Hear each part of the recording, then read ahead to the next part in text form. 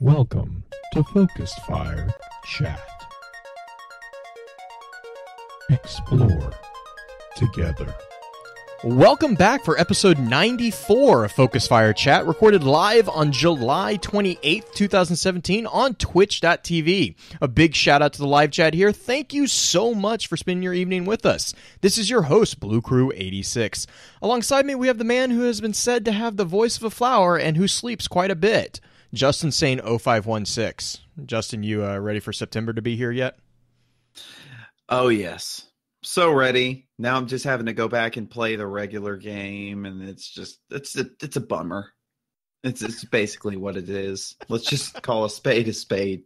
No, uh, yeah, I'm doing good. Been sleeping a lot, so Mm-hmm, I'm real. I'm well rested for this one. Okay, good, good, good. Well, be sure to let Mel know we miss her over on Twitter at the Window the Stars. Life has still been kind of hectic for her, so we want to show her some support as she's getting everything sorted out. And from the depths of the madness inducing mind maps, we are joined by our favorite Gunter, the one and only Green Eye Music Lover. Green, hope you're doing well. How excited are you for September now? I'm pretty excited. I actually have a little story real quick. Okay, go for it. You guys know that I live in a pretty rural town in Kansas where there's not a whole lot going on. I actually ran into another Destiny player who's actually like really into Destiny, who's not 16. I was, I was That was a lot of qualifiers. That's a lot Well, of okay. Real Destiny player, not 16 year old. Who's Those are into it? qualifiers. In, who's really into it? right who's into it and i was like holy moly they do exist out here i'm not alone so josh if you were in the chat i hi ow thanks for being where i live Now we know where you live. yes Green. I actually, I, I actually had the same type of thing happen to me this week. I actually gave out a card this week. oh yeah Yeah, yeah. I had a um uh s- ran into someone's wife who plays Destiny. She was like, "Oh, I play Destiny. My husband does that. He streams it." I was like, "Oh, cool. What's his what's his handle and stuff?" She was like, "I don't know. It's stupid." And I was like, "Okay, well, well, here here's my card, and he can get in touch with me th- these ways." And Mhm. like, if he likes podcasts, I've heard of a good Nice. one. that's funny yeah no what was uh, absolutely like insane is the fact that it was at where my wife works. My wife works at a spa and the lady who does my hair was doing this guy's hair who apparently she's his best friend was just like i you need to meet this guy. And she's like come here come here. Like this is josh. He plays destiny. And both of us were like awkward little geeks like hi.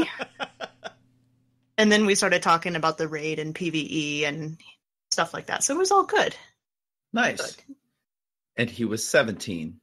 no he was like 35 so i was like Oh. yes That's a good age. my age. age ish. Well, yeah. I'm a little younger than that. You old man, you. That was a little rough. Hey, you know. This is why you drink the adult beverages here. Okay, okay. Let's. I think we've hijacked enough of this. Well, I think we're waiting for Purple to get back. Are we still? Let's let's keep it going. So, guys, I had a tragic event this week. Um, uh, Gavin's Gavin's bearded dragon Thor passed away this week. Aww. Yeah, it's Sad. It's yeah, it really did on Did his Lo- birthday. Did Loki kill him? No, no, Loki did not actually. I think it was the All-Father. I don't know. Ah. But um yeah, yeah, he uh he was like 12 years old, which I don't know if that's really old for a lizard or not, but he was Yeah, with us for 5 5 of those years. So he had a good life. He stopped eating bugs. That's how I could tell he had checked out. Because you know, Aw. eating eating bugs was what he was most passionate about. So once once he didn't have the energy for that anymore, I could kind of tell that, you know, it was It's it time. was- yeah, yeah. Right? Did you have anything else exciting going on? Because I've got a few things I could mention. Let's hear it. Uh, somebody from our Discord, who I'd like to kick in the shins, pins, sent me a pretty amazingly awesome gift. Uh, he sent me a computer. What? Yeah, he sent me. Right. That's what I said. That's why he's getting kicked in the shins. Like, Please don't pens. please don't be mad at me. Yeah, that was the first sentence. That was literally the first sentence in the letter. I mean, I have the letter here, and it's like, "Hi, Marley and Julie. First off, let me say, please don't be mad at me." That was the first whole paragraph, essentially. But it's like, uh, man. It, but yeah, it's I've got a desktop, something that's more powerful, and I can record things, and it doesn't look like doo doo, and pretty amazing. It's wow. Pins. Yeah, That's amazing. he's awesome. Dude, pins pins is that's when when I say this, everyone should have a pins. Mhm. Okay. Everyone should, if you don't have a pins, you can't go out to the store and just pick one up. But if you come across one, if you come across one, you've got to uh, you know, you you got to keep hold of that thing. You know what I mean? I just realized whoa. um yeah, I just kind of realized that uh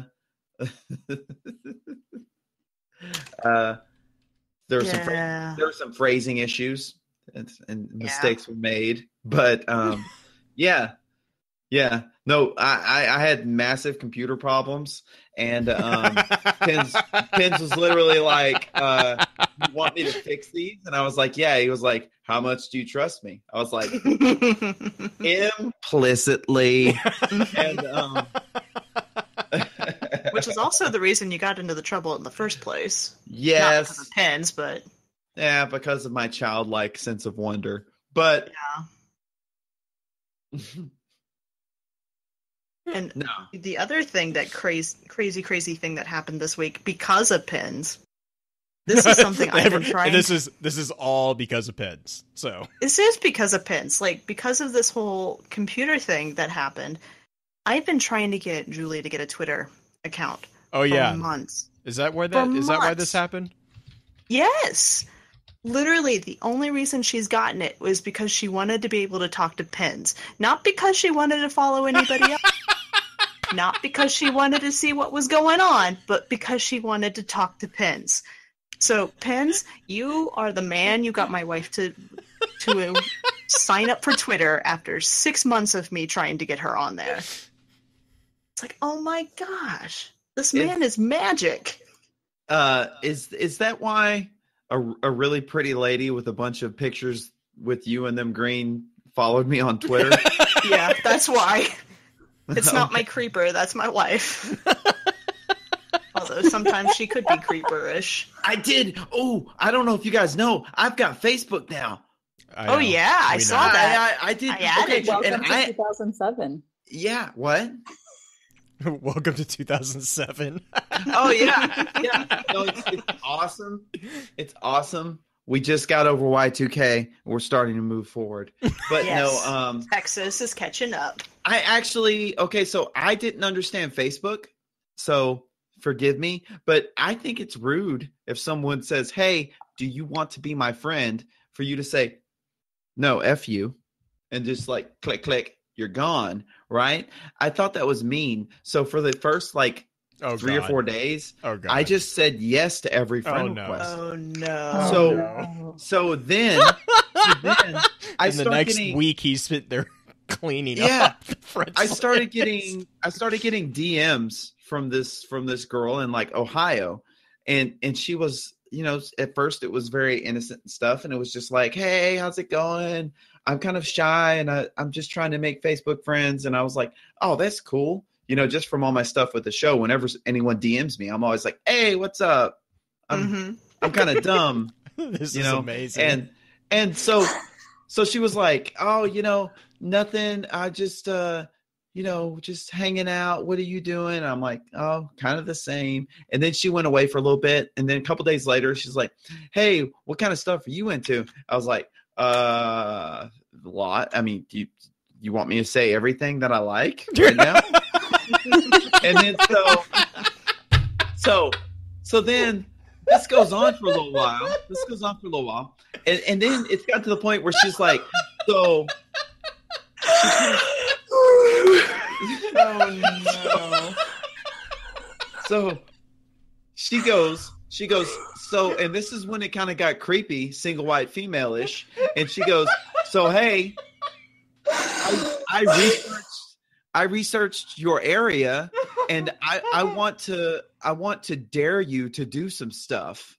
Oh gosh. And This I sounds was like, like, movie stuff. yeah, yeah, that's what I thought. And I said, like, like what? Like, and she was like, you know, like truth or dare. You should totally research my area. I said, and I replied, and I, I think I've got it somewhere. That sounds involved.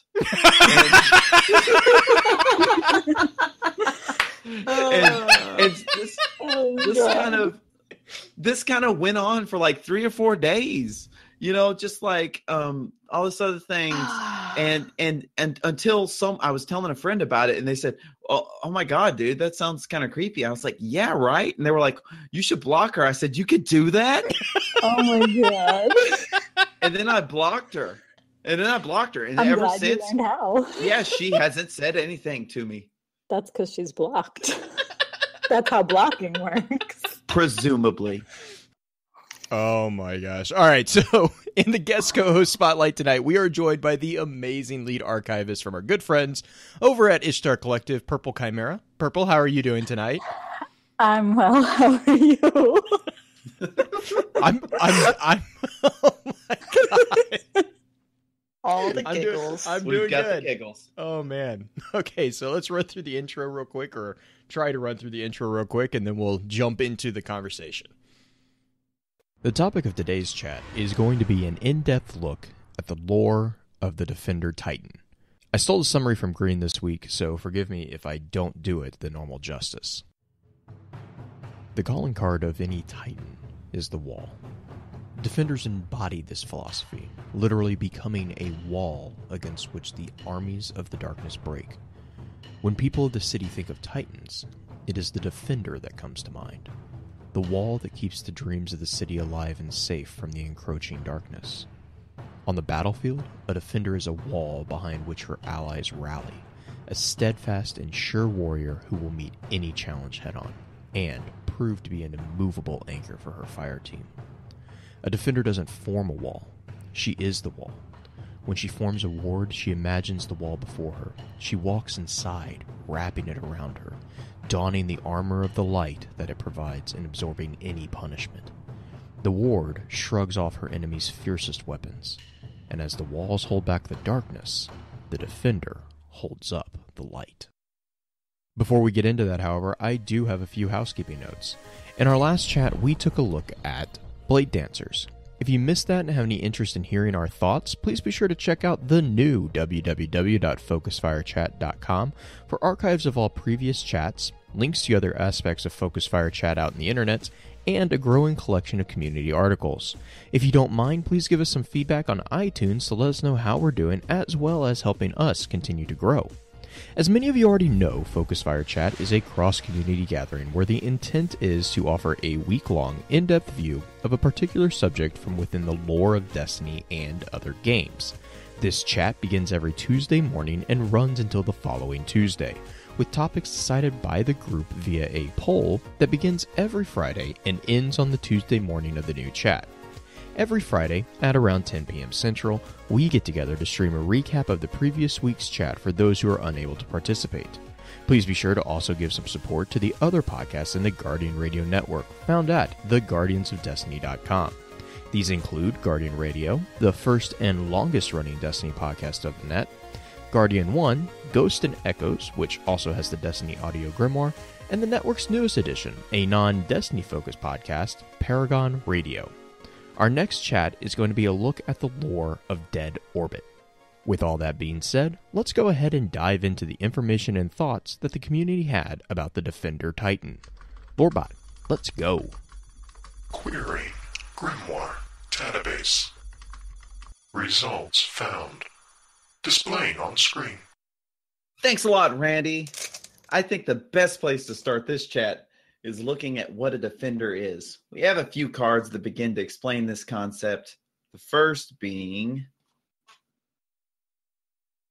What is a defender? Am I reading the stage direction? Let's. So, so, oh. so, So for those for those of you who might not know what's going on, I'm forcing Justin to to take a little bit more direct approach. okay. First thing he I says, we should defer- "Blue, that's not how I talk." and then I read it. From, yeah, yeah, I read it straight off. Um, so I think it's it's best if we start with the Titan card, right? hmm Correct. Okay. I'm over nine thousand. Uh, Yes. Titan. Strive for honor, stand for hope. Titans are warriors, heroic defenders of the light, channeling the gifts of the traveler to wage war on the darkness. Steadfast and sure, Titans face any challenge head on, blunt force instruments of the traveler's will. There you go. Nailed it. Yes. Good job. Golf clap. Wait, what? What is? What's the? What's? It's IR Hunter. Titan. It, it is. It is IR Hunter. I is Warlock Titan. Like the not. Titan. Like Are the Titan. Titans? Like the Titan couldn't muster any other words. Just Titan. It's, Well, It's like animal. It's Yeah, like animal. vowel on Titan because Titan go to Titan. Yes. Oh, Titan. I like it. Titan. Titan. Titans. Oh, like man. if Titan were a Pokemon, it would just say Titan. So, Pretty much, Justin, yeah. Titan. I know Titan. that Purple plays a Titan. Do you play Titan at all, Justin? I know who Uh, does yeah. too. I've got a I've got a 400 Titan at the moment. Yeah. you know uh it- he's mainly the the product of a lot of infusing but i Mhm. did there was there was a long time during uh the later parts of um house of wolves when i when i ran titan on my when i ran three different characters through crota every week so i mean i've played a titan fair amount more than i played warlock for sure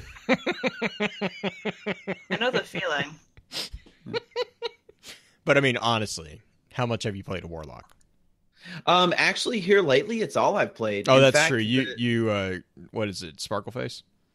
yeah, Princess Sparkleface has gotten a, a good run out, and also when I went to L.A., just through bad luck or good luck, however you want to look at it, I, I every single station I played at the whole day was um was a warlock. Well, I think that Um, was the relieve, re, uh, reveal. They only had Warlocks, right? No, no, the Crucible, the Crucible stations had all three classes. Oh, they did. Okay, okay. Yeah, and also so did the Strike station. So you you, just could you just got the short straw every time. pretty much, pretty much. Mhm. I would say Warlock is actually isn't that bad for the second, as far as the build that for the beta and everything. Oh, Didn't that's right was that because they fixed they fixed the floof. They fixed it a little bit. It's still very much a glide, but it's it's not as bad as the first one, the first iteration of it.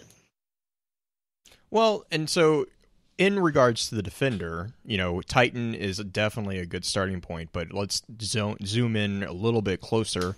Um, and purple, I think I'm gonna let you grab this next card because there's a particular man or particular element of light that the defenders are particularly drawn towards, and that is the void light. So, purple, do you want to grab the void card real quick for us? Sure, void. It's fitting then that we have weaponized the unknown. The universe is defined by fundamental forces. Beneath the world of light and matter lies the vacuum and the vast dark secrets that it contains. In the understanding of this vacuum lies the secret of void light. I love the void. I think it's my favorite, the element type. absolute, absolute favorite. What I think, think, yeah? I was gonna say, um, I really am a fan of the Void. Um, I don't know if I could necessarily nail it down to saying that it's technically my favorite because I, I kind of like all of them because you know it's kind of a synergetic relationship between all three. Um, but I think the um, the uh, the theory from Kex about what the Void is. I think is probably the determination of um, really where a lot of my agreement and like the the weight of void which is kind of an odd thing to say um but i think that's where a lot of my respect for the void comes from is because the uh that that particular theory which we've discussed in you know in detail in other episodes so i'm not gonna not gonna jump back into that one but um the way Mhm. that the way that he explains exactly kind of how like the void can interplay with with the universe and with the other elements in particular and then especially within the sword realms and um even somewhat of the defender titan um you know and then also we have a couple we had a couple different explanations of what exactly the bubble is and you know all that type of stuff that that was actually really really cool so um, yeah, I just wanted to. I say, Justin, I, wanted know you probably had a. Oh no, I just wanted to make the uh, the observation that all the other super manifestations of the void are are these very um, wild, untamed things. Like when you think of the Nova Bomb, it's it's the the warlock barely being able to contain this this Nova Bomb and then hurling it as an opponent. And then when you think of the the dusk bow it's it's very much more like the when you look at the tether it's this like kind of writhing wild looking thing but the titan the the the ward of dawn um bubble as you will as, as it's called you know um is a very ordered you know very t- it, it it's almost as if the titan has been able to to uh shape it very orderly just through his own kind of ocd need for everything to be in an orderly fashion. I, I don't I don't know if there's anything to that, but it's definitely the most tame manifestation of the void we've seen. Mm-hmm. I think that speaks to the discipline of what a lot of Exactly. Titans tend to have. But you don't think of uh, Zen focus when you think of a Titan. You think of a Warlock, right? That's what I think of at least. Mm, Warlock is like intelligence and power. I think of more of them like a Mhm. wizard like. So it can be very, very blasty, which Nova Bomb is. Oh my Mhm. gosh! But- Chat chat just explained the Titan. Our control of the void leaves us no room for verbs. Titan. Titan. I love Hiko, it. Hiko did that. that's that's awesome. Mm. Uh, well, let's take that void and talk about it. yeah, yeah, yeah. Go for it. Go for it. talk about the actual application of it, which is the Defender.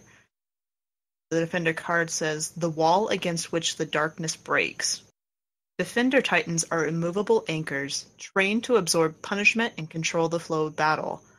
Armed with unflinching convinc- conviction and an armory of void techniques, defenders block the enemy's movements, shrug off their fiercest weapons, and rally fellow guardians to strike back. It talks about being trained, trained to Mhm. absorb the punishment, trained, they're immovable.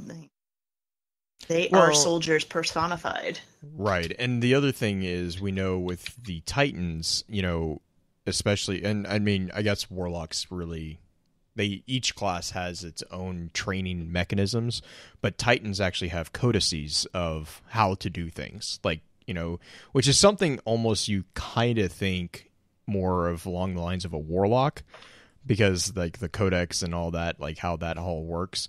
But Mhm. um like that we know that the titans that's how they pass that knowledge down on that and i'm actually trying to find i had a link that talked about a theory about how the what exactly the void i think it was i think it might have been kex had the explanation of the titan as actually punching somewhat of a hole into a a different Alternate dimension. yeah. Was it Kex or was it I'm trying to find it. I can't remember. So Purple, you said last week that this is the one you normally play. Right? Purple, you're muted. Oh, I think she she had to take off real quick. Um oh, okay. she was avoiding you. I know. Everyone's been doing that lately. Gosh. oh yeah, I yeah, was it's- gonna keep that one in the holster a little bit longer. Um yeah, I think it's Kex that he was talking about how void light can be formed into shapes. Uh, he was using the void bow, but it, it's it's also applicable for um, defenders because they actually form a protective space, and and it you know in kind of like in the intro too, we we kind of mentioned this as well.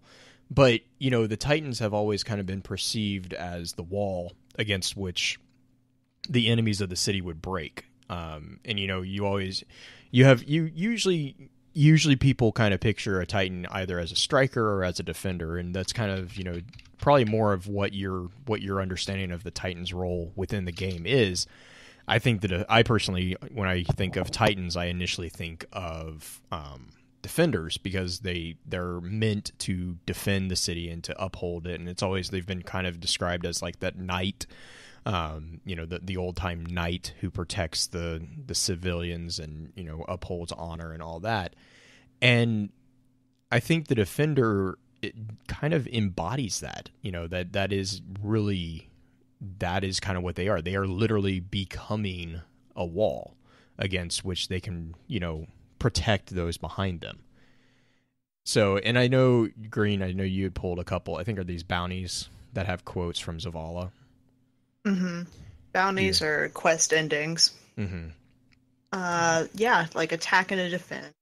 Defenders trained to personify both sword and shield at once, talking about being uh, both an offensive and defensive type character. Mm-hmm. In some respects, okay, talking about just game mechanics of this Titan, and I know they they're fixing it with uh, Destiny Two with the fact of, of having the Sentinel, and I know we're going to talk about that a little bit later, more in depth, but the fact that this character was literally a post it and shoot type character. You post up, create your bubble, and then dance in and out of it, shooting everything around you. It always became a little bit of a problem whenever things ran into said thing, unless you had, was it the Helm of Saint 14 that does the blinding? The best helmet does? ever. Yes. Yeah. So if you didn't have that, though, things would run in there and smack you because, you know, it's a shield that they can run through. Mm-hmm. the I really wish I know they fixed it for Destiny 2, but I really wished in Destiny 1 that they had the philosophy yes, they're a wall, but taking that a little bit more direct of being the wall. Like they're putting, they have the wall that they can put down a short wall now, or they can put up a tall Oh, wall yeah, that they can move yeah. around and be able to move a little bit more freely. I, they're fixing it. It's one of those things like, hey, Bungie, good job. You did it. Pat on the back. the Mohawk helmet. Yeah. The Romanesque. Is it Roman? It is Yeah, it was kind of. It's got. Yeah, It's got. they the, they stole it from someone, but it's Roman. Yeah, Roman. hmm we're not going to talk about that. Uh, The Mhm. perk. The perk that you were talking about is uh, Starless Night was, which was Yeah. just an awesome name in and of itself. But yeah, I- that that helmet was so helpful because Defender was kind of my secondary character, um, really, because I I always play more of a support type character, which is why I main Night Stalker, um, is because it's a hunter that is actually support capable. But up until Night Stalker came out, you know, hunters were not really strong on the support side. Like they were good at they were good at hindering. I things. always felt supportive. Yeah. Yeah, we we I would- we supported uh, each other. We or we supported the team um, from a distance, right? You know, we, we always cheered them on from the sidelines, Mhm. Or and then Ah. pretended and pretended to be working. I just took everyone's loot. I don't know what you were doing. Um, Mhm. I, I play I play rogues, so I don't know what you were doing. Were you actually working, Huh? Justin? Did you actually work in Um, raids? Uh, you mean like actually do work? I Yeah. always did work, Oh, son. okay, well, Sword I was bearer? Come on. sword Oh bearer. my God, sword bearer! Oh, gee, Yeah. okay, fair we enough. always had to play sword bearer. Fair enough. If you were the, if you were the Freaking- hunter, you freaking always got blade stuck dancer. doing it. But Mhm. um, I know when I played Defender, Helm of Saint 14 was was my go to helmet, be, just simply because of the Starless. Um, small wall, tall wall, all wall from the chat. Mhm. Yes. But Right, and so and well, and that kind of goes back to what I was saying about the defender. You know, and we'll we'll get into this with the next kind of concept that we're going to jump to, but you know, Saint Fourteen was kind of the proverbial defender.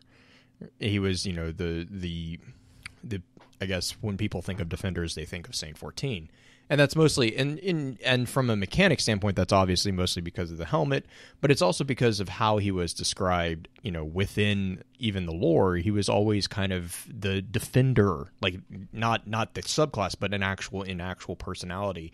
He defended the people around him that he he you know he defended and he helped people. And the cool thing about the titans and especially the defender itself and if you go back to the defender card you see that you you actually hear them being talked about as immovable anchors. Um, you know, they're they in green. You kind of mentioned this. They're the they're the ones that they set up a spot and they sit there. You know, that's but that's the point. That's what a defender is mm-hmm. supposed to do. And you know they're they're trained to basically be the punching bag for the entire fire team because they basically draw the aggro of everybody, and then when everyone's focused on this big purple bubble the other people of the fire team can actual roll in and flank. And you know they the other people they can boost you know the abilities of the different guardians that are on their fire team via the the dawn you know the different aspects that they, they can manifest within that ward. But the main point is that they are supposed to they are meant to control the flow of battle. They're supposed to be either a stopgap to help you know help prevent someone from coming through, or they're supposed to be a strong point in which their their allies can fall back and rally into you know a protective space to kind of get a breath. So that's that's just you know kind of again kind of why when I think of a Titan I kind of think of defenders more than I think of strikers. I definitely see. I'm not saying that I don't see strikers in Titans. I definitely do. But when I think of a Titan in just general concept, defenders is kind of usually where my mind goes, just with the the personality that I've read of the Titans. I don't know, yeah. purple. It's purple, more the ideology. Right, right. And I know purple purple I think green you said that purple mains. Did is that right? Yes, purple? I do. Yeah, I I main defender. Um, defender was the first thing I ever played in Destiny before I even had my own account.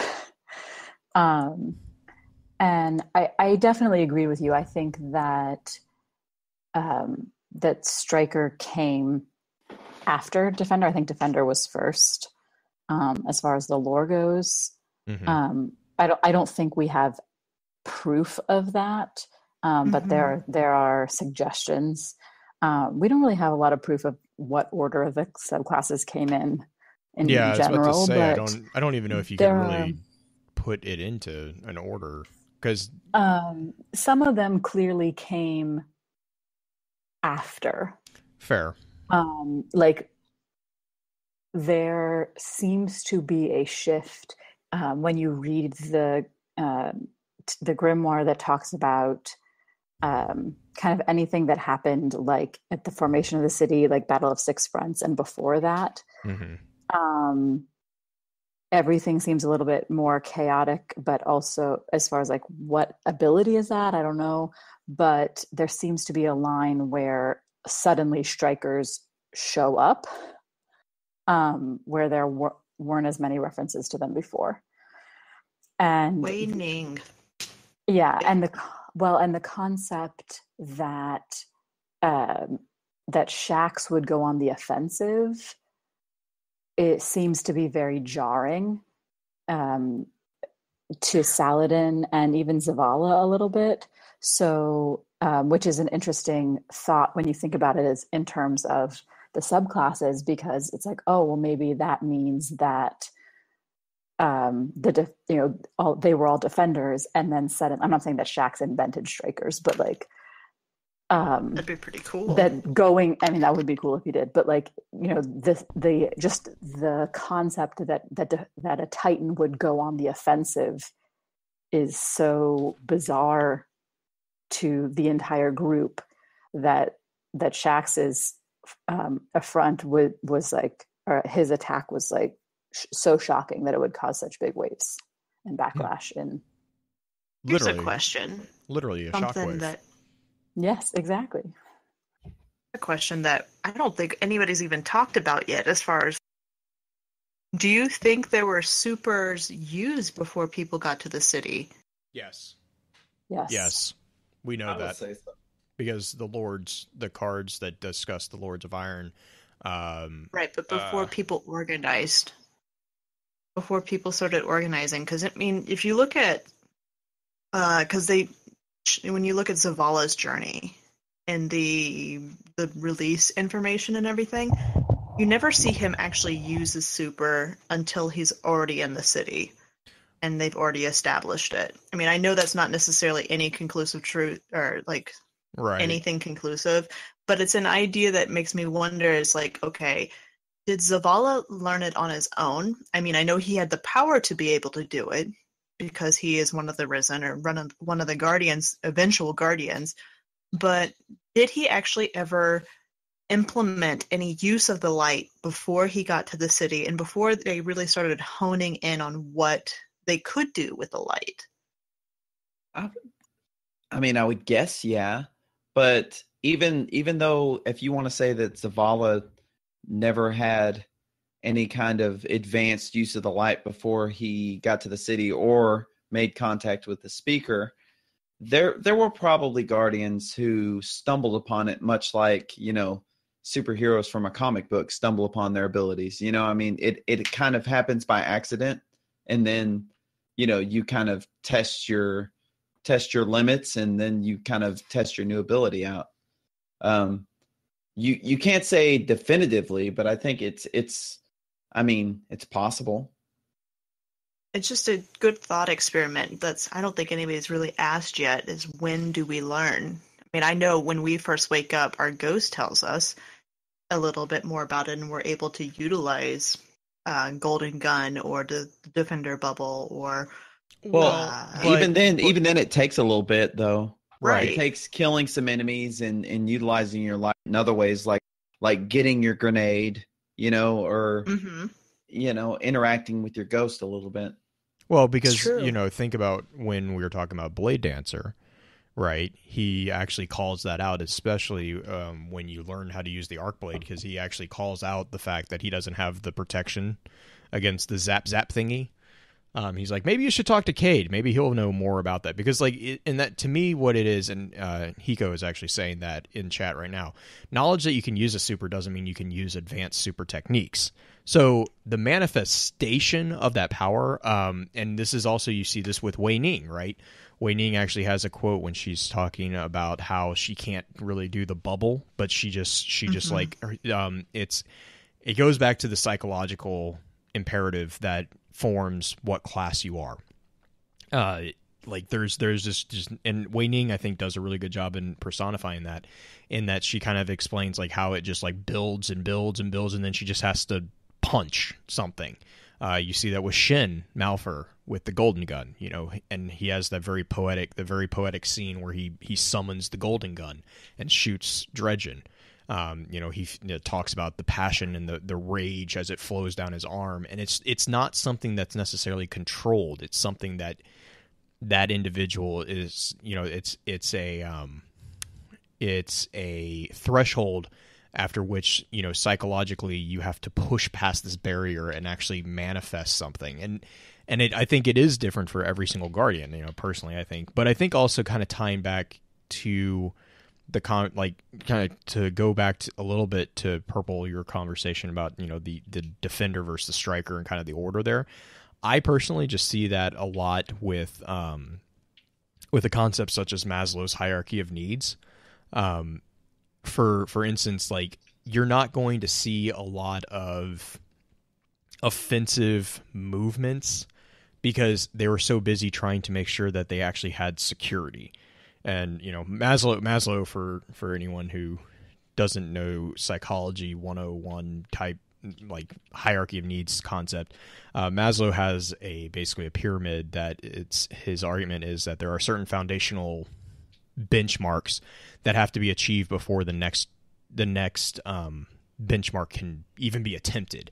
Uh, Maslow kind or of breaks even desired. right or even recognized. Yeah, it, it, like you won't even really recognize this, and you see this a lot even in in the real world. You especially see this uh, between the difference between let's say a first world country and a third world country. That's where the kind of the tongue in cheek first world problems comment comes from. Actually, is a it's a nod towards that ma- that hierarchy of needs. Uh, and Maslow actually has five levels. The first one is, is physiological, and then the second one is safety and security, and third is love and belonging. Fourth is esteem, and then the fifth is the actually the the arguably the most important one, but it's also the most difficult one. It's self actualization. But a lot of people get caught, especially within dystopian models, uh, such as Destiny. A lot of times that kind of hovers around that first and second because the entire concept of a dystopian uh, world is the fact that we have been yanked back to those foundational issues. You you you see that within the development of the the lost or the last city. They were building literally they were building walls to defend themselves against the fallen threat. So they they were so obsessed, you know, and again, I'm coming from this from a psychological standpoint they were so obsessed with actually building walls that any guardian who was there, that was at the forefront of their mind. So what do you think they're going to manifest? They're going to manifest walls because that's what they're trying to build. They're trying to build walls to protect people.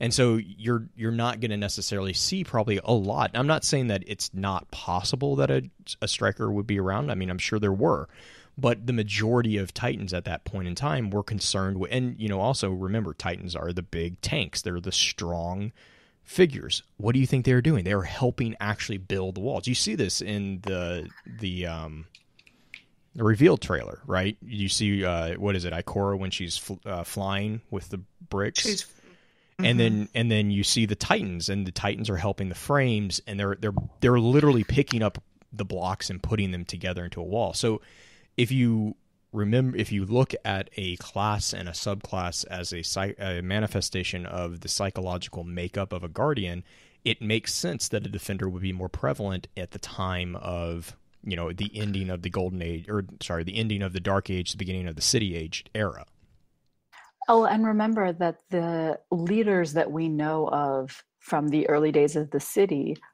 were have been titans as well. Radagast Right. was a titan. Um, Rezyl Azzir was a titan.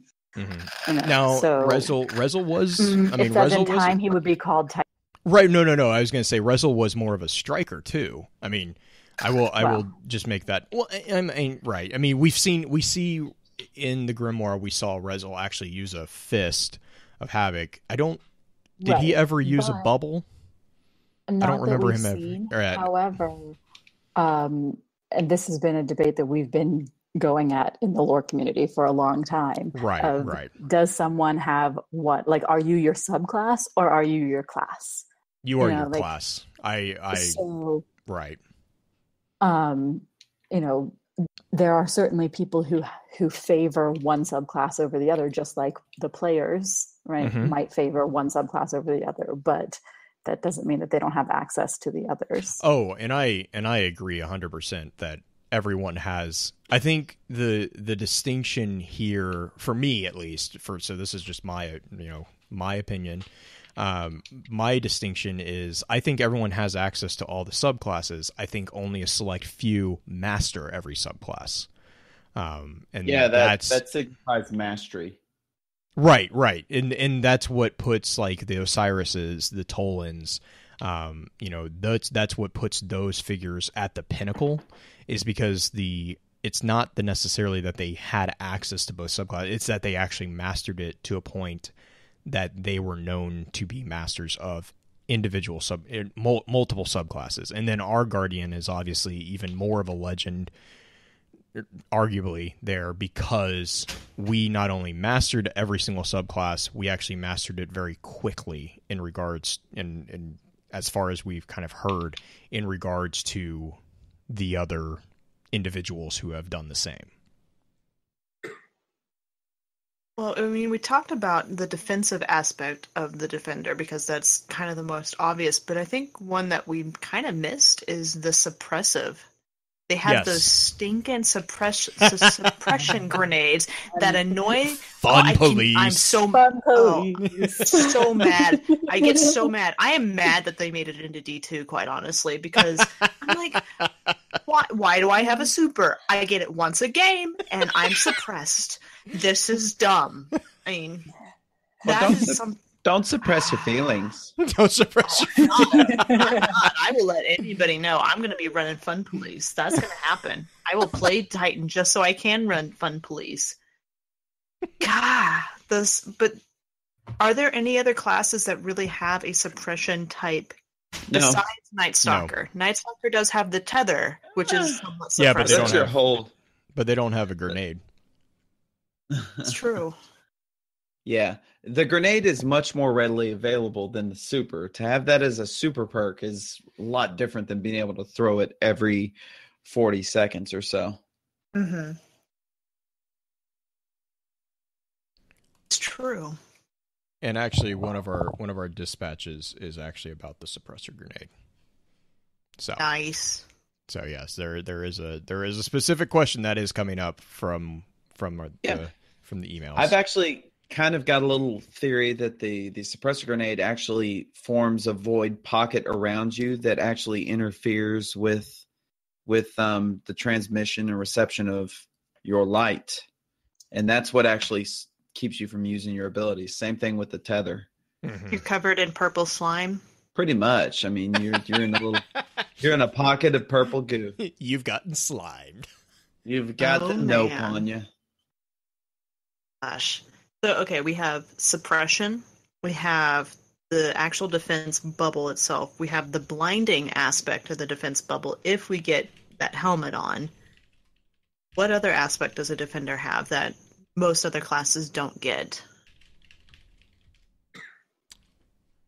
Well, um, it the defender subclass has an item that another class subclass has, but not the hunter. None of the hunter subclasses have something that I'd really like, and that's a melee that grants an overshield. Mm, Um, yes. hey, you know Force what? When you barrier give when you have. T Rex arms, you gotta you gotta give credit. It's true. That's because they have to get so close. They have to get so close to actually hit people. I just want a melee on my hunter that grants an overshield. Is that too much? it it Yes. either needs to grant an overshield or it needs to, to start health regen right then. Mm, that would be nice. Do you remember the comic? It was a web comic. I can't remember. I don't think it was Blaze that did, but it was the Titan that couldn't reach something on the shelf in the wall watching. Like, ah, isn't that cute? Yeah. Actually, Hiko says it best. It says, I steal your life and wrap it around me for defense. So yeah, and then the that's it. warlock just steals your life and gets his life back. The the warlock is the warlock is Shao Kahn. I mean, he just- Well, I, I personally I view the the void lock as uh, as a vampire theme. he's he's actually um got an ability called Soul Rip or Yep. like Soul Steal or something like that. It's yeah, it's Nom very nom nom nom nom nom nom. Very vampiric. Well, uh, do you want to do you want to jump into who are the who are the defenders? yeah, yeah, let's do it. Who wants to take lead on this one?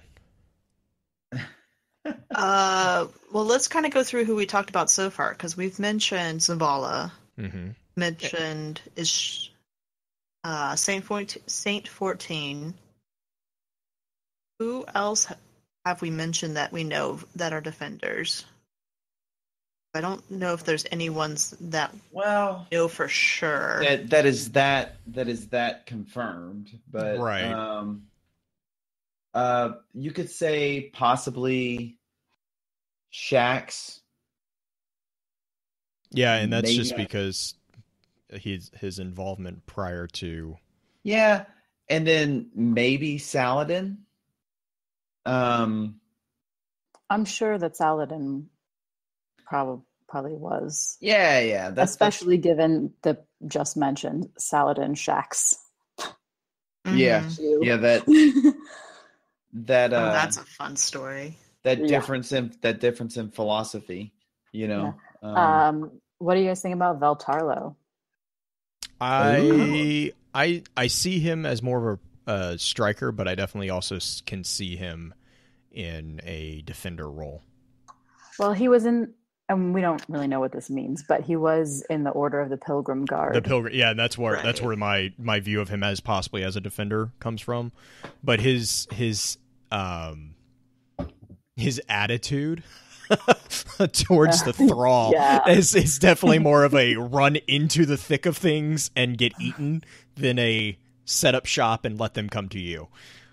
That's true. Yeah. That was the same with Wei Ning because look up Defender, Wei Ning pops on Ishtar Collective. Well, and I was like, well, Wei Ning is definitely a striker, But, but but wait, the reason, wait. but, Ishtar but the reason is never wrong. No, but the, I'm not the- saying no, they're wrong. But the reason Wei Ning pops up is because she's saying that she can't do the the bubble. She's like, I try, I try, Oh. but I just want to punch right, something. right.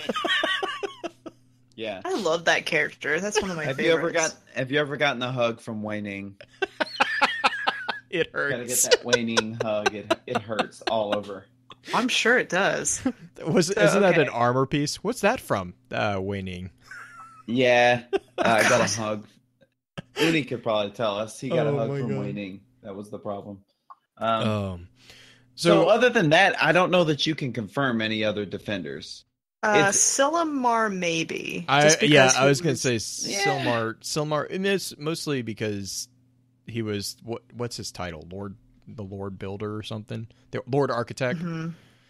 Lord Architect from the Lords of Iron, or the from the Rise of Iron. Mhm. Is he the one that would he would build the towers and they he would kept he them kept building he kept building the castle basically. I mean, that seems Mhm. very defendery to me. Yeah. Yeah. I mean, that's what I would do. It's he was just the kid with the sandcastle. I, the that's other exactly what I was gonna do. Oh, he was the it one constantly gets knocked over. yeah, he's the one that builds the sandcastle right in the uh, the shoreline, right where the water keeps hitting it, and he's Yeah. like, "No, Mhm. I'm gonna win." It's like, dude, you just no.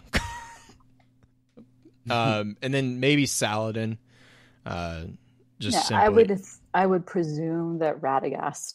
Um, he seems very steadfast like that. Yeah, I can see. I can. s- I can. I mean, like I can see a lot of the early Titans again. I can see them being at least Kabr. knowledgeable. Yeah, Kabr. I. I can. Kabr yeah, has you a know, defender's I could- grasp. Yeah, def- Kabr's defending grasp. well, and also I mean, just it- the entire. And he also and he makes a shield from Vex Vexiness. That's true. I mean, I the entire Aegis is kind of. A,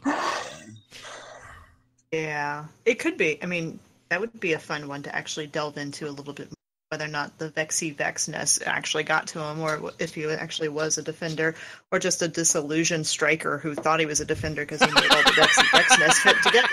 So, I mean, it could be either way. Wow. He got So- drunk. He got drunk on Vex Milk Stout, and Yeah, Thought he was a defender. he's defender. in the dark corners of time and thinks, "This is my moment. I can reinvent myself." I could be a defender. Like, I'm in a new school. No one knows me. yes. I can, talk, I can talk with an accent if I want. It doesn't matter. That's what you're telling me. That's his mindset. Oh man, Not wrong. That would be awesome though. He shows up to school the next day with an Irish accent, and no one knows why. And an eye patch. He's just talking in a brogue, and he's just monocular vision going on, and you don't know why, but he's new, so you don't question it. And he's also fashioned. He's fashioned a shield out of lunch trays, and he keeps trying to shoot things at the lunch lady. Okay, Bird. I'm gonna quit now. I hope we get more of his story. I have a picture. Breathe. I need a paper bag. and each time he just goes pew. Oh no! I know. Oh, and Oh, just no. the picture of the shield made out of lunch trays. God. That took a turn. All through the did. first- Let's keep going. Oh gosh. Okay, so I'm gonna redirect. You ready? Make Blue stop wheezing. If we can get him to snort one of these times, I'm gonna be. Oh my god, I might just You- fall out of you- my chair. Oh god, that'd be awesome. But uh if Kabr's gonna craft something and become something new, what about our Titans becoming something new with Destiny 2? Like the do they actually develop the Sentinel on their own? I actually have a theory I was about to say purple, that. purple go because Um, so my like I I spend a lot of time trying to make you know whenever someone asks a question and someone is- is like because video games and then I'm the one who's like well but what if um so here's my proposal knowing only exactly as much as we know about the beta and whatever. Um that one of the things that sets our guardian apart is you know our unique relationship with the light. In in like year one and we kind of had a thought that maybe what made us special was that we got access to all the subclasses and nobody else did. And obviously that's since been kind of shunted. Um but what if when we start destiny 2 in the first mission we just have our regular like d1 subclasses. And then we lose our light. And then when we get our light back we as our guardian is able to figure out how to manipulate light in a new way. And that's why we have different abilities because we still have this like i can still make ward of dawn but i can just do something else with it too so it's not really a new subclass it's just extra abilities so I- i just thought like maybe that's something that sets us apart from all the other guardians Right. I mean, I I seriously think that we'll start with the exact same subclass that we started with the last time. I think that hunters will start with gunslinger. I think that the now I guess Titans. Did you start with striker? or Did you start with Defender? we started with defender Yeah. if Okay. I guess that kind of throws that one in a monkey wrench, but interesting. Yeah, I can see definitely. I definitely think we'll get it broken up after we get the, our light back. I don't think we'll have access to all of our subclasses right at first because I think as far as I know game mechanics is kind of a crappy cop out for it, but I think for new people coming in to play Destiny that they're going to do the same thing that they did in Destiny 1 and kind of gate what supers or what subclass you can start playing right away. What we didn't get to touch our second subclass until level 15. I can see it being similar in Destiny 2. Yeah, I guess the only thing that would kind of make or break this theory from what I can think about is that the like in the beta when I went in and I started homecoming, I could use the sentinel powers. But we were Um, level 20. that's true.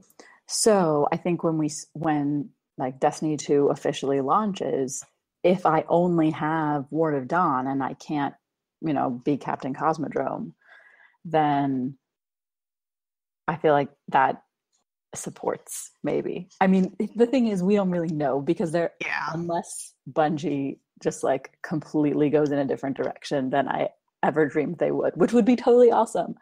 Just saying. Um, Good like, surprise. I don't know that it's going to be um, ever brought up in game. It's just my own little head canon that I try to make things work. So, so just so I'm clear, what what you're kind of theorizing is we'll just kind of start with the new stuff, and they'll leave it to the more hardcore story types to kind of connect the dots as to how we arrived there, with pretty much the explanation that Guardians honing their craft came up with these new subclasses, right? rituals. right. Yeah. Yeah. which which makes sense i mean because if you can only sun sing so many times until you're like can i just can i turn this into a sword you know i mean like I, I, I get it. You know, the the defender. You know, I it's a it's a bubble and that's great. But could I maybe make it a shield and run around and smack people So- with it? That'd be great. So I mean, I kind of see that. Um, I hope that's not the case. I'd like to see a more developmental approach to it, but I guess it just depends on where, like, where Bungie is going with the whole like our guardian thing because they've kind of touched on it a little bit. Um, there was like that one um, card about when with Rise of Iron where Saladin was talking about um, all the things accomplishments that we have have done and why he chose us to help him um, instead of going to like you know the vanguard or whatever Mhm. so there are mentions that that is like what makes our guardian special. So that's like is that going to play a role in the story? You know is are these new abilities because we are the special guardian? Or are these new abilities because bungie recognizes that its player base is getting bored and wants something new? I want it to be where we get to the farm and there's a little green standing off to the side that goes, "Come with me," kind of person, and he teaches us how to be like super, super crazy good. I want a Yoda. Hey, hey, listen, listen. Yes, appropriate. that is appropriate at this time. It would be kind of cool though if we able we were able to kind of create our own subclass or develop it ourselves. I also think it'd be interesting if we had like a Yoda type character that would teach us, make us lift things with our minds and stuff like that. You know. ride What around on a, on a baby Bjorn, Yeah. A reverse, reverse baby Bjorn. reverse baby Bjorn, uh, papoose, if you will. Um, yeah, you know that's that's very that's very possible. Um, and, and also just this completely off topic question: Am I the only one who's going to be completely offended the first time I walk past Shaxx and he doesn't call me Hive Bane? Yes. I'm gonna be Probably. very upset. That's that's just part. I think all these questions they're and they're natural. They're just part of leaving our old guardian and that old legacy behind that we've created just from having played through all this content. We trigger certain things in the dialogue and all that. But um and I'm not real sure how many how many years after the events of D1 this this game happens. Um I can only assume we're starting fresh. So it may just be that they're just going to start us fresh across the board and treat it like the beginning of D2. And As far as our accomplishments go, or uh, you- accomplishments, accomplishments, and um, our integration to the subclasses. You know, when we started Mhm. D1, it was pretty much like here's a character and here's some subclasses. We, we're not going to go too far into explaining them, other than some grimoire, um, Which is now- acceptable.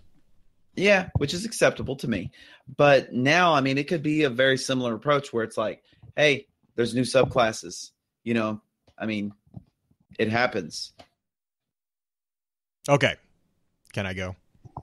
Go. go. Okay, for those of you who are in chat, Blue has been in Discord asking if he can go because he's going to go off on a tangent. So if you are not prepared for a blue Oh. tangent, um, thought- you might I get an adult in- beverage. Yeah, I thought in meant no. Um, um, so uh, Green, Green and I have talked about this a little bit. Um, I think that I mean most most people will realize that I come at I come from a more psychological background uh, than than necessarily the other people on the podcast. And so for me, when we talk about the transformation into a new subclass, I immediately kind of connected with the idea that this was actually a paradigm shift. Um, and so what I mean by that, and let me let me have let me kind of step back and let's walk through what a paradigm shift really is. I've said it before. Um, paradigm is basically when we talk about a paradigm, it's in in layman's terms, it is a worldview. Uh, an actual the actual definition of paradigm is literally the distinct set of concepts or thought patterns including theories research methods postulates and standards for what constitutes legitimate contributions to a field um, so what you see a lot of times is uh, this is where you get things called paradigm bias uh, or worldview bias. And this is often very, very detrimental in a scientific community because basically what this is doing is it's it's biasing your your theories and your results and your searches and your hypothesis and you, most people don't even realize it um, and so a paradigm shift the argument that I have is that the evolution of the new subclasses can also be seen in the general context of a paradigm shift by newer guardians, our guardians. Uh, and this is actually reinforced by what is the opposite, which is a paradigm paralysis that the older guardians, namely the Vanguard mentors, seem to be stuck with at the onset of Destiny 2. So let me let me unpack that just a little bit. Excuse me. Paradigm shift, uh, they tend so again, they tend to appear in response to the accumulation of critical anomalies as well as the proposal of a new theory with the power to that encompasses both older relevant data and explains relevant anomalies. So new paradigms tend to be most dramatic in sciences that appear to be stable and mature. Uh, there. Uh, Kuhn wrote actually that the successive transition from one paradigm to another via revolution is the usual development pattern of mature science. So, to unpack that a little bit, a very good example of this is uh, the entire concept of the world being round. Uh, or you know even bigger the world not being the center of the solar system from galileo there was a big that was a big paradigm shift. And there was a lot of individuals in in multiple communities across the world and across the scientific communities that just could not accept that. That was a very that was too much information. You also saw this with a lot of einstein's theories later uh, with physics and you know all that. There there was a lot of stuff that he proposed that just it people who are in a a a certain paradigm in a certain mature scientific community, there's a way, there's a rut that they get into. And when you have a paradigm shift in those types of communities, a lot of people can't get out of that rut. You see, again, kind of pulling that back into the, the Destiny universe, you see that with Zavala, with Ikora, with Cayde. Those three figures, they are guardians. That is, especially with Zavala, that is what they are and then all of a sudden the light is ripped from them. The traveler is ripped from them. They can't adapt. And that that kind of brings me into what a paradigm paralysis is. And so paradigm paralysis is really actually the greatest barrier to a paradigm shift. And again paradigm shifts are it's a necessary component of existence. You have to be able to adapt so a paradigm paralysis is in some cases is it, it it's the inability or refusal to see beyond the current mode models of thinking. So this is also you see this also in what's called confirmation bias, which is the tendency to search for, interpret, favor, and recall information that is in a way that confirms one's pre-existing beliefs or hypothesis. So it's a it's a type of cognitive bias and a systematic error of inductive reasoning uh, you often will see people display this bias when they gather or remember information selectively or when they interpret it in a biased way. Uh, and obviously, as you can imagine, for emotionally charged issues and deeply entrenched beliefs, the um, this this is very very prevalent. Like this is a very common event in the confirmation bias. Again, going back to the Galileo situation, confirmation bias was there very heavily jumping into something that we know that Zavala actually has referenced is that Sun uh, Sun Tzu, The Art of War. I, I actually want to bring this in because during The Art of War, if you read if you've read The Art of War, there is actually an entire chapter that expounds upon the necessity of adaptation adaptation. And it's mostly in chapter six. And the he talks about elements and green and i this is a part of what green and i were talking about before we got on the show it, the elements are all equally important in the art of war each each element represents a a new um a different type of warfare and water is the element that he that he utilizes and his and his uh, critics utilize to kind of used as the element to show the balance of how adaptive tactics can overcome nearly anything. Uh, so basically, his argument is that the successful warrior, or the successful army or general, or who, whichever position you're talking about, is the one that is able to adapt. And so I would take this and I would say, you know, our Guardian shows that in that they are open to a paradigm shift in the evolution of the manifestation of the paracausal abilities of the light that they have. The Vanguard mentors, however, show the paradigm paralysis in their inability to do the same when faced with the force of Ghaul and the drastic change he introduces into their worldview. So, what that kind of means is their quote is Water shapes its course according to the nature of the ground over which it flows. The soldier works out his victory in relation to the foe whom he is facing. Therefore, just as water retains no constant shape, so in warfare there are no constant conditions. And this points out the fact that over time, in order to be victorious, the soldier or army must change their tactics to meet the new forces that rise up to oppose them. So, okay, in regards to Destiny 2, what does this mean?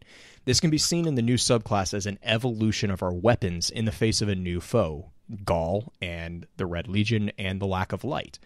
Where we had, for the most part, unfettered access to the Traveler and Light in Destiny, when we were pitted against Atheon or Atheon, the Fallen Houses, and even the Hive's own Pantheon. I mean, we, we took on a Hive god and won. In the current time, within Destiny 2, we are rendered powerless. We are we are slammed back into the earth. We are no longer these superhuman figures. So which which actually brings to mind another question. Or sorry, another quote from The Art of War, and that is all warfare is based on deception. Hence, when we are able to attack, we must seem unable. When using our forces, we must appear, appear inactive. When we are near, we must make the enemy believe we are far away. And when far away, we must make him believe we are near. And this is then followed by another quote on how to best overcome any foe. And he says, If your enemy is secure at all points, be prepared for him. If he is superior if he is in superior strength, evade him. If your opponent is temperamental, seek to irritate him. Pretend to be weak that he may grow arrogant. If he has taken his ease, give him no rest. If his forces are united, separate them. If sovereign and subject are in accord, put division between them attack him where he is unprepared, and appear where you are not expected. So again, think of think of the argument of the manifestation of supers in purple. I agree completely with you that I think that the new subclasses, from a lore perspective, I mean, yes, there is the whole well, it's a new game mechanics, and they wanted to show off the new you know engine or whatever. But from a lore perspective, you can argue that these these new subclasses are actually the response of a paradigm shift in the in the role of what a guardian is. And this kind of really ties into a defender. So it's not just applicable to the defender into a sentinel, but it is as it is you can see it in that transformation. And what I mean by that is like in the same way that you see the psychological need for defense by in the defender in the early iterations of the defender, you see the psychological need to strike back and to not just defend. You can still defend. We still have the defense bubble, but we also now have the you know whatever you want to call it, the Captain America shield or what however you want to identify with it.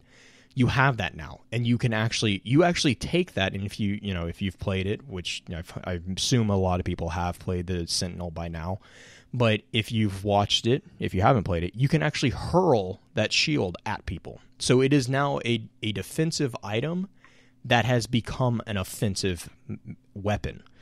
And that is very in line with the psychological presence of that particular guardian, our guardian now. Because now we are actually responsible for not just defending civi- uh, civilization. We're not just responsible for defending humanity. We're responsible for taking back our light. And that is a very big issue within the Destiny 2 thing because, you know, they, they've introduced it a world without light. So that's the entire psychological need at this point for all of us is we need to take that back. So that, that that's kind of where my that's a very condensed version of my thoughts on the whole Sentinel thing. Uh, purple and yes, uh, purple. Sorry, I, I didn't realize. um, if you want to know more about confirmation bias, Purple actually does have an amazing. And I've actually everyone on our podcast I've badgered to listen to this episode.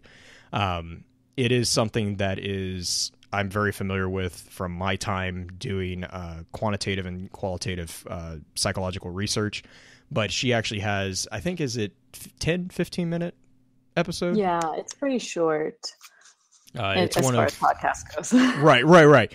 Uh, it is actually an amazing episode that actually talks about confirmation bias in regards to researching, uh, in particular, video, video game lore. But it's it's applicable to any type of research. It's something that if you are interested in research, or if you already do research, and you know you just want this kind of thing to be aware, everyone needs to be aware of confirmation bias. Um, if you think that you don't have confirmation bias, that's probably a pretty good strength that you, or pretty good sign that you do have confirmation bias, uh, because uh, it, it's it's a um, it's actually an argument from a phenomenological standpoint. Uh, phenomenology is a, a school of philosophy that argues that everyone has a perspective. Um, it's actually one of the founding tenets of Focus Fire. Uh, is that my argument is that the more people you get into a conversation, the more conversations or the the, the more robust conversation becomes. Because everyone has a better or a greater number of perspectives and that makes the image that you're looking at a better better rounded image. It's more of a three-dimensional. It brings it into sharper clarity. And so if you don't think you have or if you don't think you have confirmation bias you do. You just need to identify what it is. And and purple I'm, I'm sure you can probably go into a little bit more detail but yeah definitely definitely give that a listen to if you're at all interested in looking into anything. Yeah, I mean, it's basically the result of it. An emergent is um, when you look around the lore community and you see that everyone has different theories about things. And, you know, while I think, you know, I think the queen is a good person, I think the queen is evil, right? Well, we, we all have the same information, right? We have all had the same interactions with her. We all have the same grimoire cards and the same quotes but we read them in different ways and part of that is because we're different people but that's because we have and so because we're different people we have different perspectives and therefore we're biased against people who um who say certain phrasing or we interpret phrasings in different ways. And so um it causes us to color our view um and all it all recognizing your bias is is just like learning what your bias is and recognizing that it exists and being able to recognize it when it emerges in your research so that you can c- compensate for it. Um, sometimes it's really useful. Um, sometimes you need it to focus your research if you have a ton of information. For example, if you were going to do research on uh, President Theodore Roosevelt, I mean, there's a lot of information about him, right? You can't Yeah. just do Theodore Roosevelt. Like you have to narrow it down a little bit more. um, so then in that way, you will have bias against the research because you only want research about, you know, when he was president, or you only want research about um, his hunting practices or, you know, his childhood or whatever your focus is. So, um, there, it's it's good and bad, but it's always there. green go for it Uh, actually, you go for it because Okay. I forgot what mine was for. I was just gonna jump in real quick and um, purple. You you kind of already said it, but I was gonna say that is not to say that having a bias is a bad thing. Having a bias is human. It's it's a human thing. Um, Yeah. and you you you should not feel. I'm trying to figure out how the best is. You should not feel that having a bias in your research method- methodology or your your bias in your research in general or how you view things that's natural. It's it's the fact that you need to and purple this is kind of tying back into what you just said is it's it's recognizing that and taking that into account when you're doing research. You need to be able to do that comfortably and recognize that that is what it is. So that's that's what that was what I just really quickly wanted to jump in green. Go for it Right, I remember what it is now. Um, it's the whole thing that most people tend to have problems with nowadays is the fact that a lot of what we interpret with Destiny, with the grimoire itself, is based in text. And when you read text, you can read text a lot of different ways. Think of it as an actor. When you read through something, you read it with a different tone, you're going to set off a different emotion. You can read the same line over and over and over with multiple tones. How the Shakespearean actors get really, really good at what they do is they read it in every single emotional tone that they can think of. And so when we read grimoire, if you have a, an idea in your head that uh, the queen's brother is a complete and utter jerk, everything you read that he says in game is going to sound like a complete and utter jerk because you already have that in your head. So you're just going to com- continue to really cycle and unless you go through and like uh, Purple was saying, kind of adjust yourself a little bit and try reading it in a different way, try reading it in a different light, you can you can start seeing things in different ways and maybe not necessarily change exactly what your view is, but see if there's another way that could be interpreted. Do you think, Justin? Oh, Justin, I think your mic is. Oh, oh, sorry. Sorry. I was clearing my throat and I muted myself. Um, no, I was just gonna say to to kind of circle back around to what Blue was saying about how a bias is oftentimes there's a negative connotation with a bias. Uh, that's I think largely because people have a hard time separating a a, a bias from a prejudice, which. A, a prejudice can be a negative thing. It's not. It's oftentimes just like a bias. It, it can also not be a negative thing, but um, you know, basically, and and blue and and purple and all the other colors will tell me if I'm wrong here. um, but uh, the the basic difference between a prejudice and a bias is that a bias is like a a, a generally held thought that an individual has or a group that it's it's kind of influenced by their area of life, um, like their politics, their religion, things like that. While a prejudice is much more about like the the processes they use to make a decision or the processes by which they judge things so there's a difference there between the two that's the that's the the very cliff notes version of prejudice versus bias but uh, is is that at least close yeah bias well it yeah uh, yes and no bias is actually a prejudice in favor or against one thing. So bias is a prejudice. Um mm-hmm. kind of. It's it's but like and you're you hit it on the head. You it, it's a word that has a lot of negative connotation. Um, and depending on how it's used, that might not necessarily be accurate.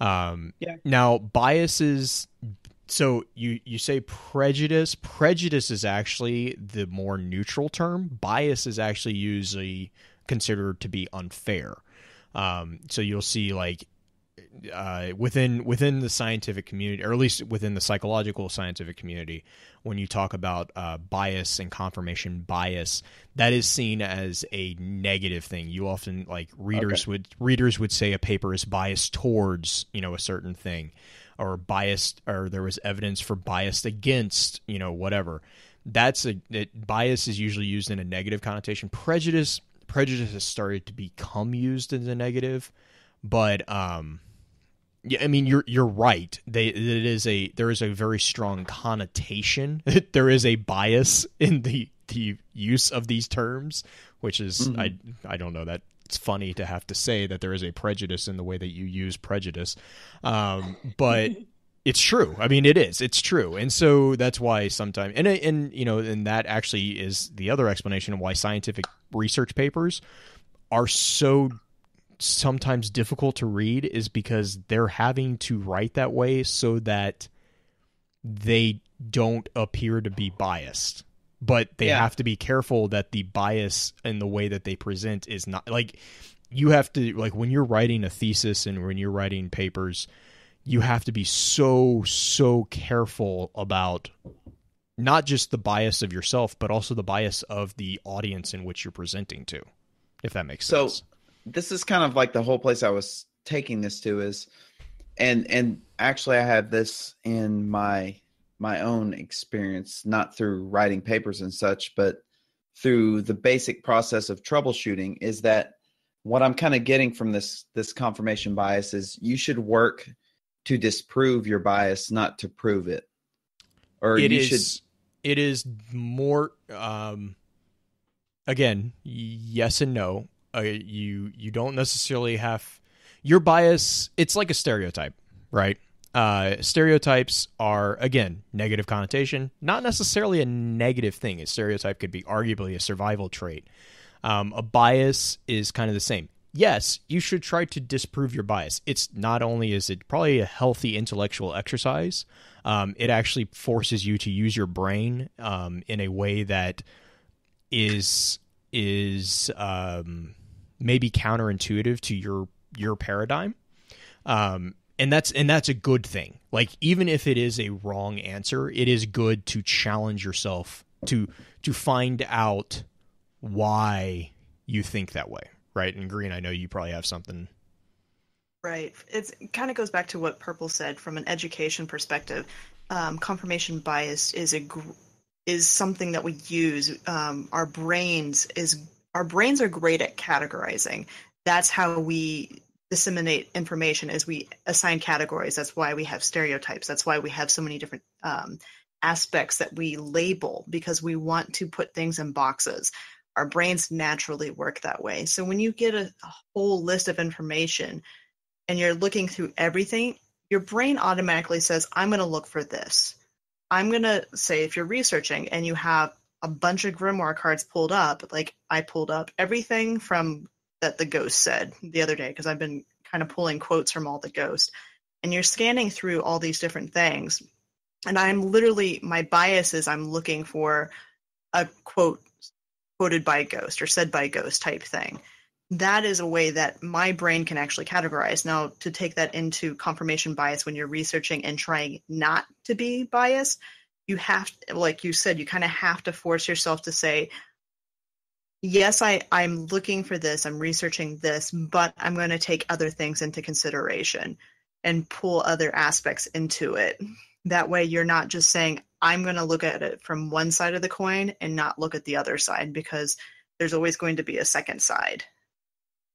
Right. Well, and in um, in scientific studies, um, we see this very, very clearly in um, like uh, studies about medicine, where they have the double-blind study.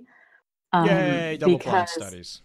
because you don't want the scientist's confirmation bias to emerge and show something that isn't um, that isn't necessarily true right um, you don't want the the researchers to sway the subjects in any way. Um, so that's why we have double blind studies. Um, but but confirmation or bias in general like a simple example of it not necessarily being bad i have a bias toward the flavor of caramel flavored desserts. If i see a caramel flavored dessert i am much more likely to choose it over any other flavor. Mm-hmm. Okay As so it should be. simple simple example of like bias not necessarily being bad. I'm not i'm biased for something right rather than biased against something. Um, so you have to pay attention to both sides when when you're researching a topic and trying to find especially when you're trying to find an answer. Oh, because of the clustering illusion. yes. Sorry, that's yeah. Uh, it's a it's it's a form of a, a what is it? Is it technically is it considered? It's I know it's considered to be the beginning stages of schizophrenia, apophenia, which is basically the tendency to at, attribute meaning to perceive connections or patterns between seemingly unrelated things, i.e., the entire Focus Fire chat. And actually, actually, like- I'm gonna I'm gonna expand that. That's probably that that explains like the majority of the Destiny lore community is Pretty much, finding yeah. finding connections or patterns between seemingly unrelated things. So that's like what the guy in uh, A Beautiful Mind had when he was Yes. Uh, well, yeah, yeah, pieces kind of. of. yarn from different things, to different things to all across his room. Well, isn't that kind of sort of what Sherlock had as well? Yes. But that's what made him so effective. oh god. Exactly. I mean, it's it's not necessarily a bad thing. Um, Well- obviously, you don't want to get the schizophrenia, but the the ability to what you started saying, chunking or categorizing, Yeah, clumping. it's it's clumping or c- chunking. It's all an actual mental function that we use to disseminate information. It's something you lo- use all the way through school. Isn't- You start learning it at a very very young age how to do. also, isn't that phenomenon the birth of superstition? Like pretty Mm. much, like that's like you you Mm. associate one thing with another. Oh, I see what you're saying. Uh, uh, I, I, you could probably make an argument for that. I don't know if that like- would I would agree with it, but you could probably make an argument for it. Like, why does the Indian raid dance work? Because you don't stop dancing until it rains, right? I oh, mean, oh gosh. Am All I right, right so we're, am I we're right? gonna we're gonna move.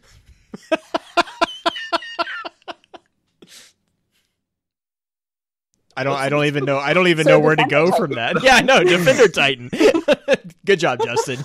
You got us back on track. Oh man, uh, do So you do guys you want want? to hit dispatches? I was just or- about to say, yeah. The um, let me jump in here, make sure I'm on the right ones here. All right, so we got dispatches real quick.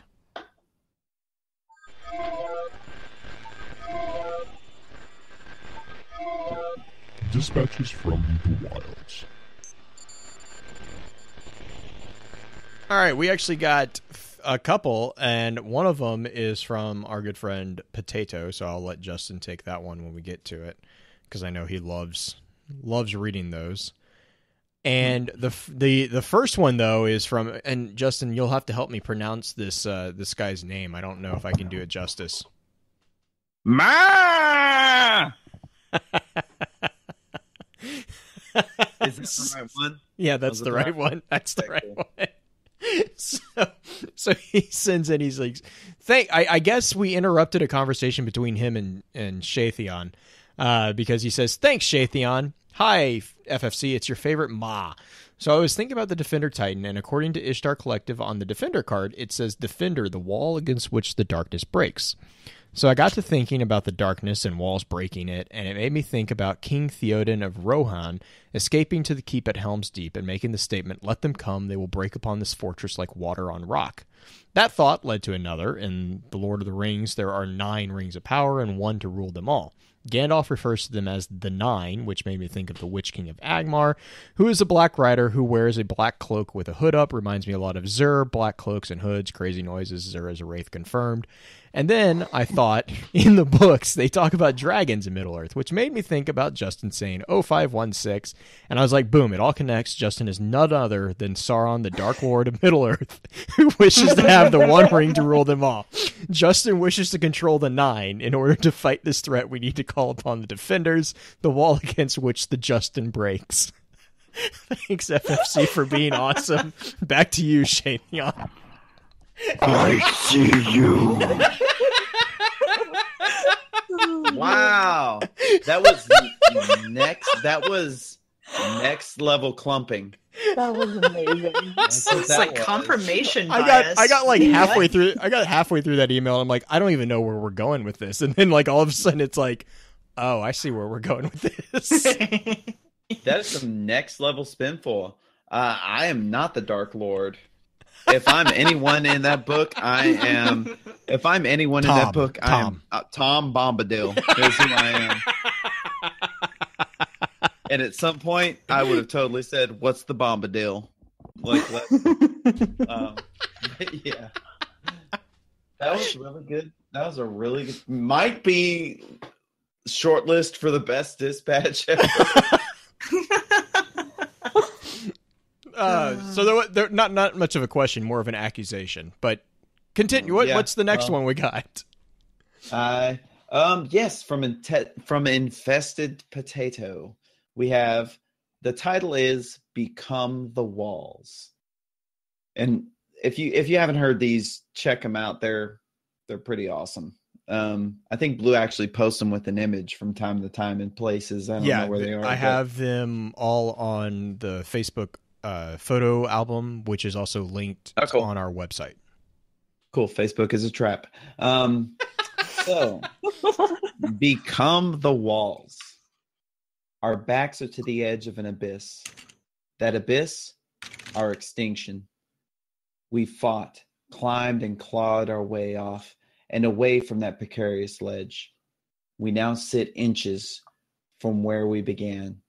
But here's where we begin again humanity and its children ready to reclaim our identity our destiny. Oops. Those precious few inches are our charge, our reason of being. We were the first to bear that honor, and we'll sh- we shall be there at, till the last, until our watch is no longer needed. When stone shatters and steel melts, our light will hold. When our comrades fall, with their final death but a certainty, our light will hold. When the night draws near and our people need shelter from the cold feral world, our light will hold. Become the rock and motor. Become the iron and steel. Become the wall. Hold the line. Nice. Yay! I think that was supposed to say mortar, I think you're right. and I was gonna say mortar, but I'd already screwed up one of his lines in the first, and I was like, I'm not gonna paraphrase anything else. So yeah, that that was really good, potato. I like that. I yeah, I- become the rock and mortar is a really good line. I like his. I really, I really enjoy some of the things he sent in for. Yeah, And He's as chat quite- says, as chat says, our light will hold until Ghaul brings the starfish. under the sea. Um, Beep, beep, beep, beep, beep, boop. so we got we got one more, right? Yep, we Mhm. got one more. Green, you want to grab that one? Hey, Blue and crew. This week is the Defender class. Unique to this class is the ability, the Suppressor Grenade. Until the introduction of Shadow Shot, this was the only ability to shut down a Guardian's light. My question to your superior lore brain is this Game mechanics aside, how do you feel this works? Does the suppressor grenade simply use void light to disrupt the flow of, of light? Or, like a black hole, does this grenade literally consume any light that is used, much like a black hole eating light? Side note Can we all just agree that the correct term for the Ward of Dawn is, is the time out bubble? Thanks, FCC crew. Have a good one. I like I like Okay. the timeout bubble. Just my two Yeah. cents. kind of feels like that because I used to use hula hoops with elementary school kids, and they would have to sit inside the ele- the hula. The problem is, is we got the really smart ones who picked up the hula hoop and started walking with it. That Yeah. would, that would have been me. That happened to me. I got put in time out. My, my mom said not to pick my butt up off that chair, and my brother and I went all over the house walking around with the chairs. And then she was like, You know what I meant? And I said, Oh, I clearly did not. Mhm. And then there was a battle. Needless a to say, battle of will. Justin did not win that battle. So if if I can respond to this first, I actually what I was talking about earlier, I think um the suppressor, not unlike what the starfish of death does to the traveler in the D2 um homecoming mission. Uh, I think the suppressor grenade has a similar effect on your guardian. Anything that can, can that can disrupt that transmission of light, um, I, I think will mess with your abilities. Much like a darkness zone, it's it's almost like a a you know a little portable darkness zone has been cast upon you. It's just interfering with that with that continuous circuit from traveler, you know, ghost, and yourself. Isn't there a card that talks about the void punch through to through to the void to pull pull it out, right? The dusk bow. Right, the Dust Bow card. Um, don't they talk about the aspect of the void? Oh, I'm trying to think. It's not annihilation. I'm trying to think of what it negates. It Mhm. is nothingness. Well, it, it I mean- negates because it's one of the things that Ikora kind of laughs when the defenders are like all squirrely about the the uh, right. The um Void. uh soul soul. Nova Bomb. well, no, because they're talking life steal. Because all the Titans are like squirrely about it, and she's like, "Uh, Mhm. your shield does the exact same thing. Like, guys, come on, it's made from the same stuff. Uh, it's a ne- it's like a negation thing, which you can also see a little bit, especially with you know the Helm of Saint Fourteen and the Starless Night perk. It's a negation of an ability, right? You walk into the Mhm. bubble, and oh, now you're blind. You, you your your sight has been negated. Right? Is that the right term for that? Right. I think I think that's Right. right. Um, I, I'm just laughing because now every time I, I, even though he has the idea of the black hole in there, now that Justin has said it kind of like covers you, you've been and I slimed. have the idea of getting slimed, yeah. purple slime. I I'm I I was yeah, it's it's a slimer. God, now I'm now I need to go watch Ghostbusters. Nickelodeon. Oh, Ghostbusters. okay. Oh, yeah, I guess. Nickelodeon Nickelodeon has the what was that? Nick at Night. Mm-hmm. Mm-hmm. God, that that brought me back. Purple, what- Purple, what do you what are your thoughts on the on the timeout bubble and the um, fun fun fun police smoke grenade? Um, yeah, well, I, I, I just, and I was just trying to click around to find that exact quote from Ikora. Um, but that's basically like, where do the Titans think that Oh yeah, their power comes from? it's like seriously, guys, seriously, what do you? Is like, guys. uh, but yeah, I, I think, well, I, the fact that it's called void kind of implies that things get sucked into it because when void is nothing and therefore it gets filled. Um, so I kind of always had an image of like the other, the lights from other guardians getting sucked into the void hole that the grenade created. But that might just be me projecting because it's called void. It's just the void doesn't necessarily present itself in that way for everything. So it's it's one of those things It's like kind of weird.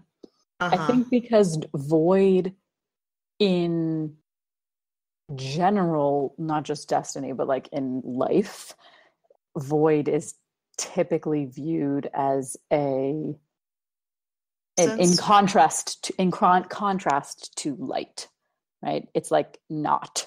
That's what void Right. is.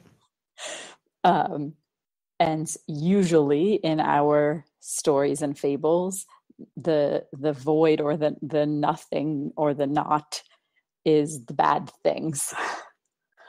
but here we're using it with the Just- light, by it's the light. misunderstood. It's a misunderstood Yeah. teenager. Sure, I let's go with that.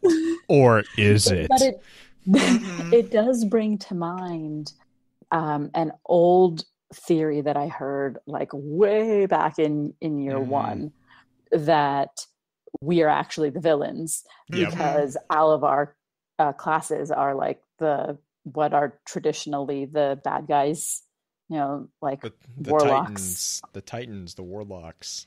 Yeah. Whereas Mhm. whereas the Hive was the wizards and the wizards knights. and knights and yes, it was like, wait, hang on, Um, hang on. yeah it does kind of make you like "Mm, yeah um so it, it is an interesting manipulation of of concepts to have void light like it doesn't they're kind of like not like the opposite of each other kind of but yet they are I mean, Yeah. same light is because we're using it so Yeah, because a void. I mean, a void is basically a completely empty space, or completely empty. And so to say that something is is filled with a void is a weird Like Yeah. almost, it's almost a double negative, but it's not. Like It's the same paradox as calling black a color. Well, uh, well, that's not really a paradox kinda- either. It's Well, no, no, no, no, no. It's kinda- it's the same. It's kind of like calling white a color. Well, black is the absence of color. Well, Black the- is the, the- combination of all No, it colors. depends. White- it de- white, no, yeah. it depends. White is combination. it Yeah, white. depends on if you're talking about pigmentation or light. Exactly. Black pigmentation is pigmentation that seems to reflect no light, but it that's impossible for pigmentation. But black in in terms of a black hole is the the absence of light. Is what I'm saying. Mm, Black hole is much more than just the sum of that, though. Black hole is a action.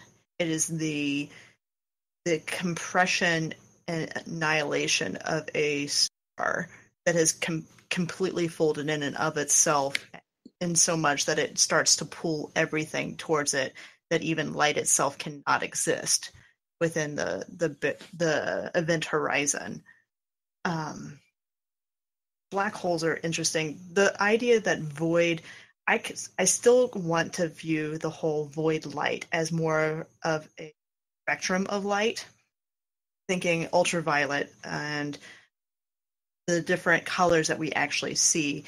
What if there's a boundary beyond that that void light vibrates at such a way that it does does things that we don't understand because ultraviolet light can function and that we use everyday uses for. I mean, we use ultraviolet light to find things that we probably shouldn't find in teenage boys' room. I mean, there's lots of uses for these kinds of things. What if our actual light, void light, is another version of that? I buy it. I mean, Yeah.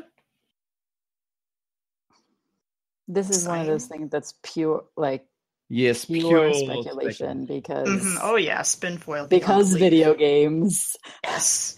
Confirmation bias. I want physics to work in this together as fast as I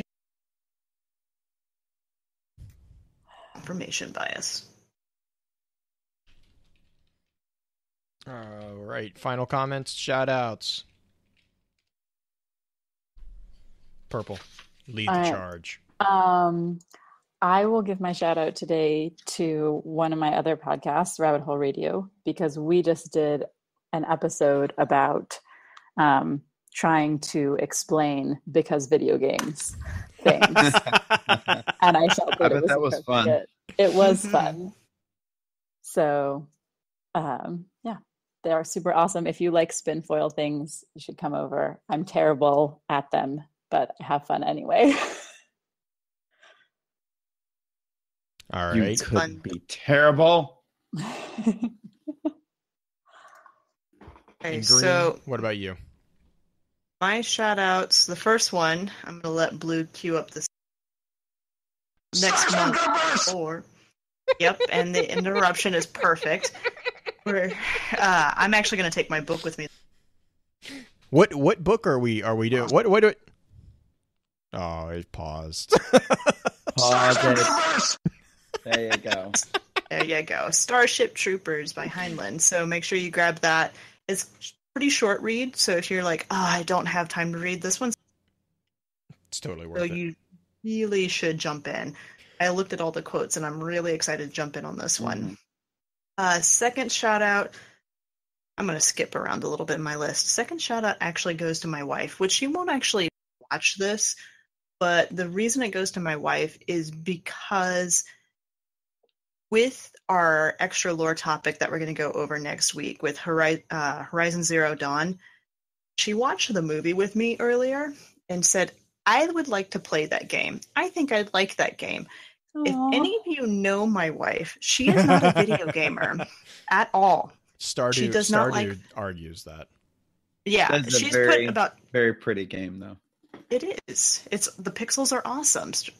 Or are you talking about Horizon? Yeah, I'm talking about Horizon, but Ah, yeah, that one too. Stardew Valley, she's she's put maybe ninety hours in, so that kind of argues it.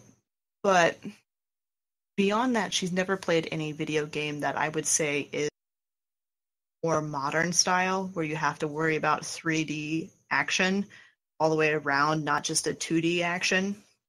So she's looking at wanting to get this. So I went out and she gave me a little bit of extra cash because she's the, the money holder in the family because I'm not to be trusted to get a PS4. So I, I actually purchased a PS4 today with Horizon Zero Dawn. So I'm going to play this a little bit so there's at least one of us on show that is part of the normal cast that's played it before on Wednesday.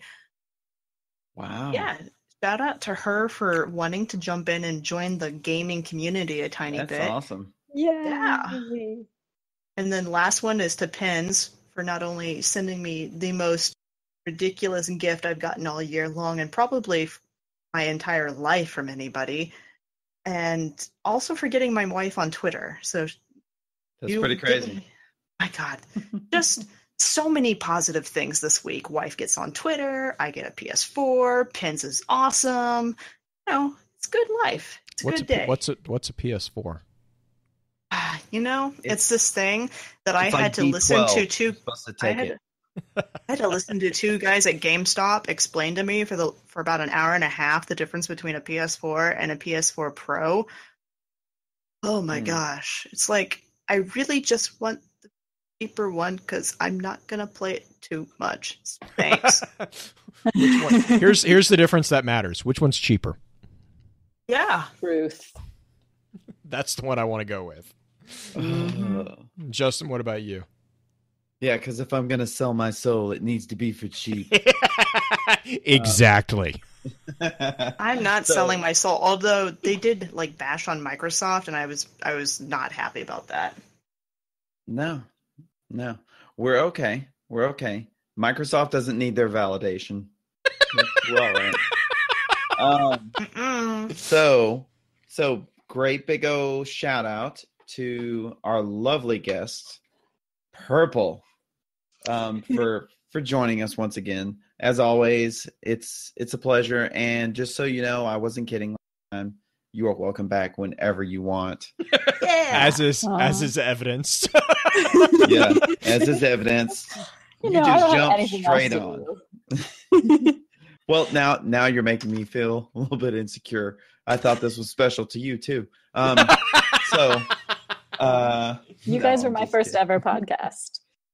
That's nuts. Yeah, I was on your podcast before I was on any of my own podcasts. That is Nice. Nuts, well, I I can just remember being in awe that we had someone from Ishtar because even though you guys weren't Bungie itself, you felt like the establishment. That's how that's that's how legit you guys were at the time. So I really appreciate and that. And still are. and still are. and still are. Yeah, Thank good. you. But guys, if if you, if you haven't checked them out, definitely check out to the check out the Rabbit Hole Radio and also the Ishtar Collective podcast. And um, if you just checked out all the Destiny podcasts, you'd probably listen to all the podcasts that Purple's on.